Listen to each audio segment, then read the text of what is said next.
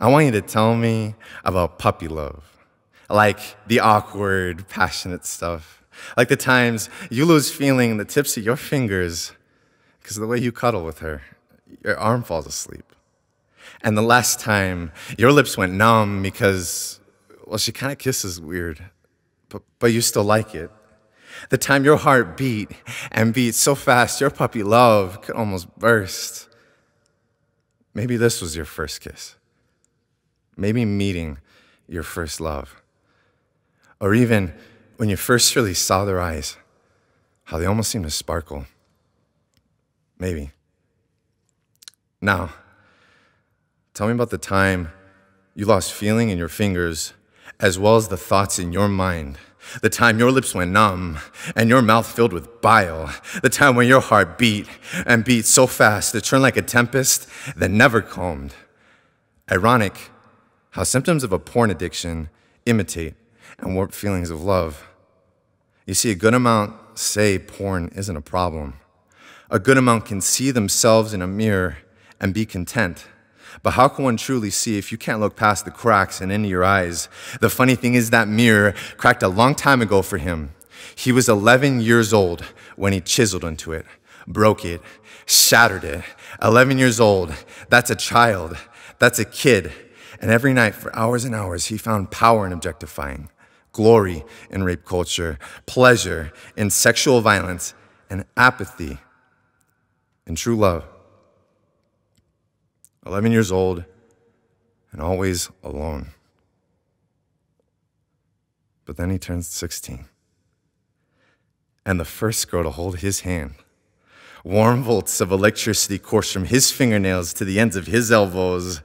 That first kiss gave him goosebumps the size of red cherries, the skin of his rosy cheeks brightening with the sound of sweet trumpets, the look in her eyes as he kissed away the edges of her face. You see, in those moments, he forgot what it was like to sit and waste away. His heart booming and crackling with the heat induced by puppy love. He was living because he cared. But as he let the addict within take over, that heat could soon only be erupted by the sound of tongues slapping against teeth, the biting, the bruising, the cracks, tearing the roots of her hair in the name of passion, twisting it, tugging at it, tearing the love out of it, the idea of becoming those videos, powerful, obsessive, mindless. That sweet kiss soon became nothing. It wasn't special unless he felt satisfied because it was no longer about her.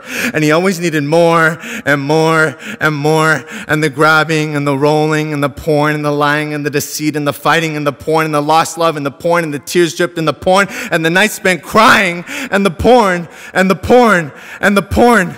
And eventually, the porn won.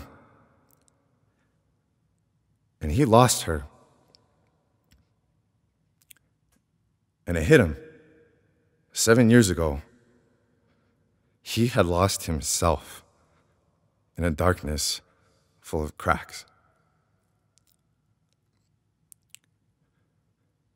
And in that darkness, he found a light. And in that light, he found a hope that never dies. He found true love. He found me. So the bile, the thoughts, the scars, the shattered mirror, you know, it hasn't all left me. Not just yet. But if you struggle too, then remember this don't give up. Hold on to your light because my shattered mirror has never looked so beautiful.